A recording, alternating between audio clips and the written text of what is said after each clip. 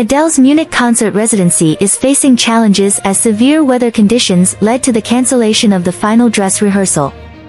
This decision has cast doubt on the highly anticipated shows.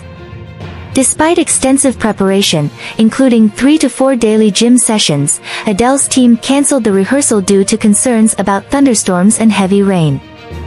The Adele in Munich concert residency, her first European show since 2016, is scheduled to take place throughout August at the purpose-built 80,000-seat Munich Messe Stadium, with the final show set for August 31st. The cancellation has made her debut public performance tomorrow uncertain, but supporters are hopeful that the show will proceed as planned.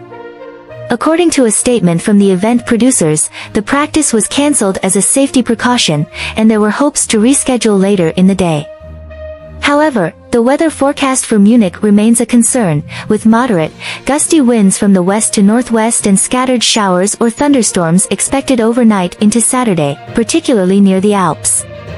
Adele has taken a unique approach to connect with her fans at the Munich shows, requesting a custom-built stage that allows her to be closer to the audience.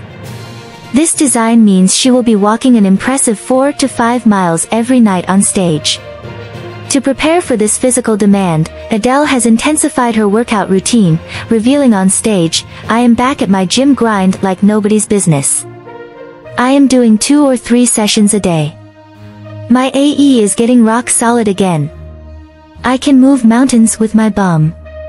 I have been working out like a crazy person. The reason that I am working out like I'm an athlete again is because that stage is F asterisk asterisk enormous. By pushing herself physically, Adele aims to deliver an unforgettable experience for her fans, despite the weather-related challenges.